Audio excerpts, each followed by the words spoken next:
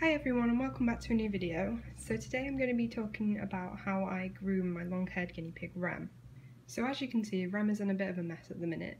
Um, he's not usually this messy. Because Rem is a long-haired guinea pig he needs regular grooming um, which means like brushing and making sure his hair doesn't get all gross. Now Rem absolutely hates getting brushed so instead I like to give him a shorter haircut every now and again. Um, so as it was coming up to the time he needed his haircut and he also needed a grease gland clean because he has quite an overactive grease producer so it gets quite messy down there um, he actually injured his foot. So he bruised his foot quite badly um, and ended up having to limp on it for a while and having medication. And so that made me decide not to groom him for a while just to kind of let the foot kind of settle down. I didn't want to cause him any more stress and potentially make him hurt himself worse if he's like struggling so he does look quite a state at the minute. As you can see around his ears, that's he's kind of stained from where he was having some medicine on there for the foot. Um, like I said before, his grease gland at the back is all gross and knotty. So he just looks like he needs a little bit of uh, a makeover. So to start, I like to find big chunks of hair and just hack off long bits that I think don't need to be as long as they are on him at the minute. Uh, here I'm just using regular human hairdressing scissors which I got from Boots.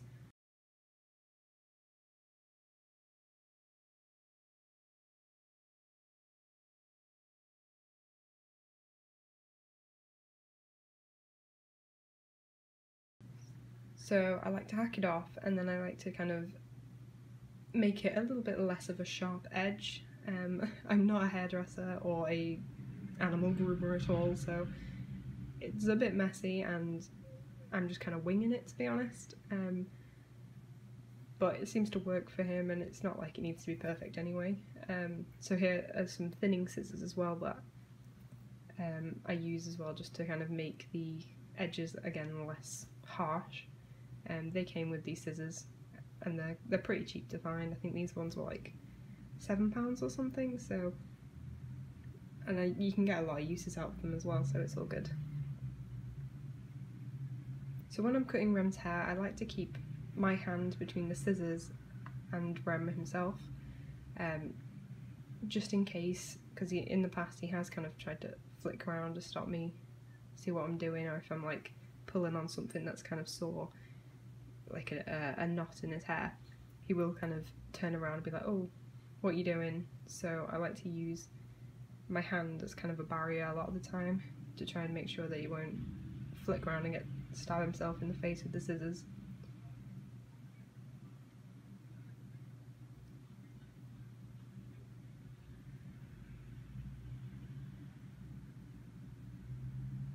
So because Rem absolutely hates brushing, I do this um, reasonably regularly because I think if a knot appears then I just snip the knot off straight away and don't he just absolutely hates me trying to detangle his hair. And so it's easier for both of us if I just do uh, a big haircut now and again um, instead of having to put up with making him upset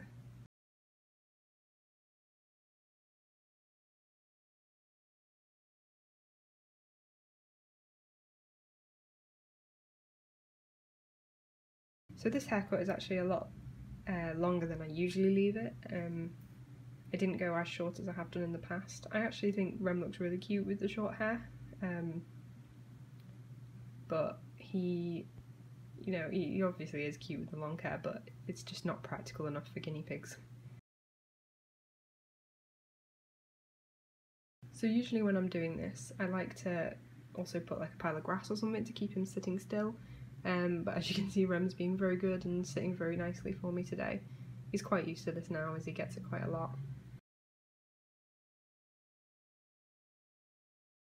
So around the edges of his back feet is where most of the knots appear because that's kind of his longest bits.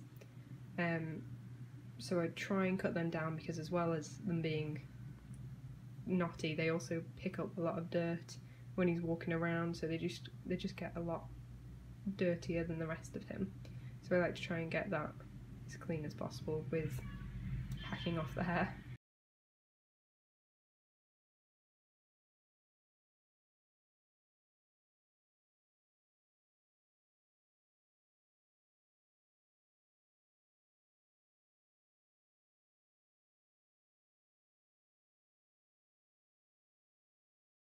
So it is quite hard doing the little bits on his sides um, and you've got to be very careful to try and make sure you don't accidentally cut his skin because some of their skin can be kind of mobile. So when you're pulling out a bit of hair you can actually end up pulling some skin out.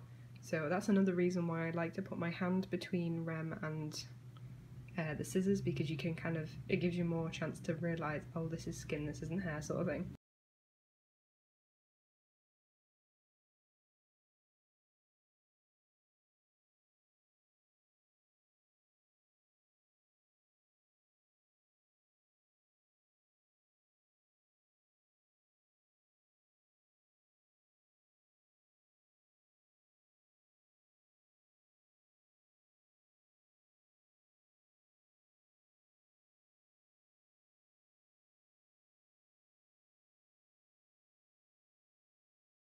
So what I like to do is first I like to do the haircut and then I will move on to the grease gland because with the grease gland I like to, he, he gets it where it comes down a lot onto his hair and his lower hair so and it kind of clumps together.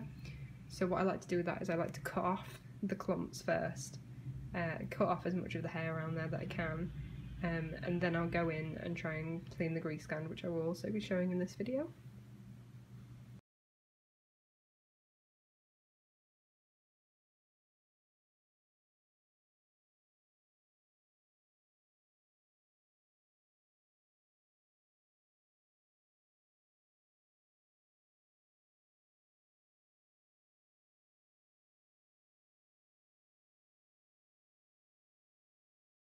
Rem also gets these funny little long bits around his um, back legs and near his feet and in his crotch area as well, which for a long-haired guinea pig can be quite an issue.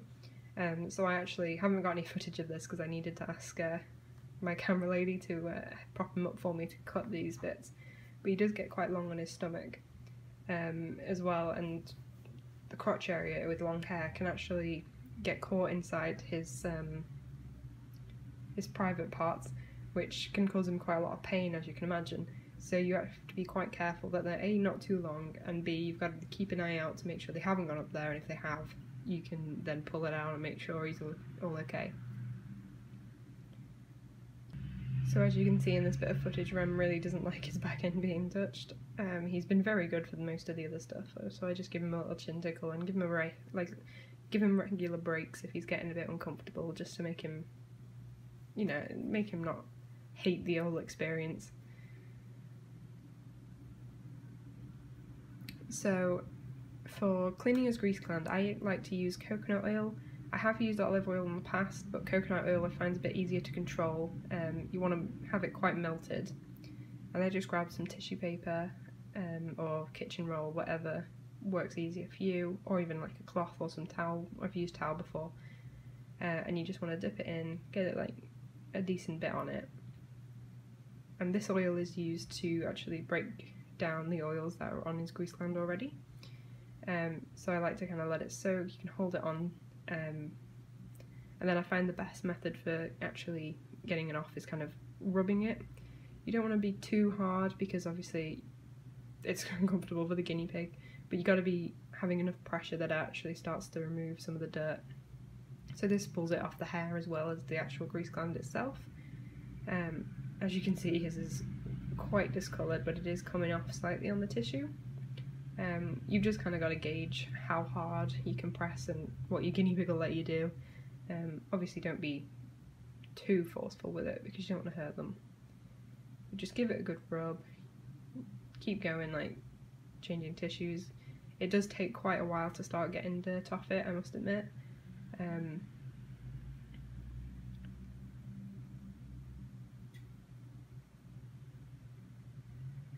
and the coconut oil is quite good for their skin as well. Um, it's quite moisturising and it, it, I must admit it actually does really make the hair soft if you get it on the hair. Obviously not too much because you don't want them to look all greasy and stick together but it does make them very soft. So you can see it coming off onto the tissue there.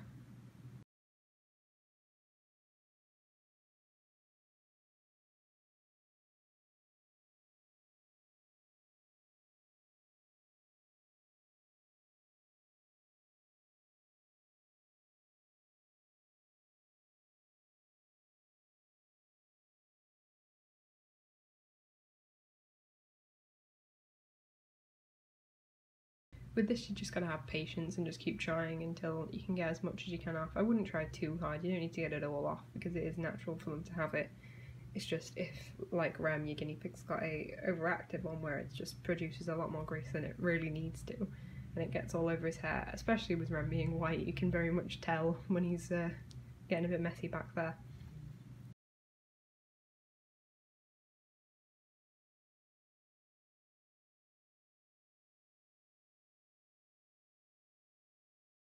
So after I've done the grease gland cleaning, I then will bath Rem.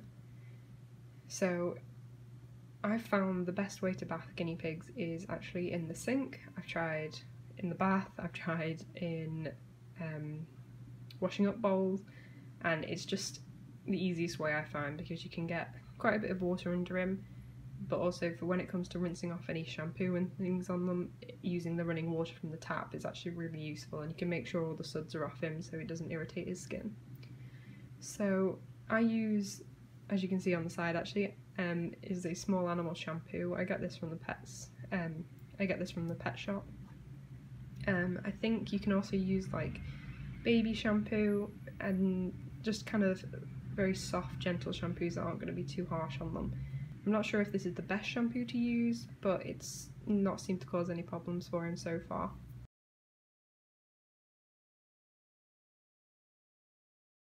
So when it comes to bathing guinea pigs, I definitely don't suggest you do this often. It's very drying for their skin. It's only very uh, it's only a very if you need to bath them if they need it. Don't do it otherwise because it, it is bad for their skin.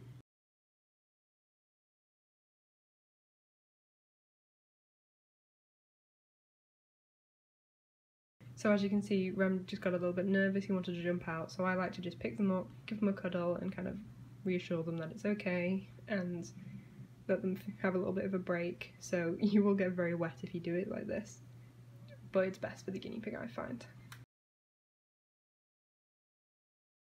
So after Rem's all nice and dry, he's looking a lot cleaner. As you can see there's a lot less yellow from the medication run around his ears his hair is, again, like I said, longer than I usually leave it, but I didn't want to cause him too much distress because his foot's still a bit sore. You may have been able to see he's, he's bruised one of his uh, his toes. Um, but yes, he's having a bit of grass as a treat. So I hope everyone enjoyed watching this video of Rem getting a haircut and a, a pampering session. Thanks everyone for watching and I'll see you in my next video. Bye!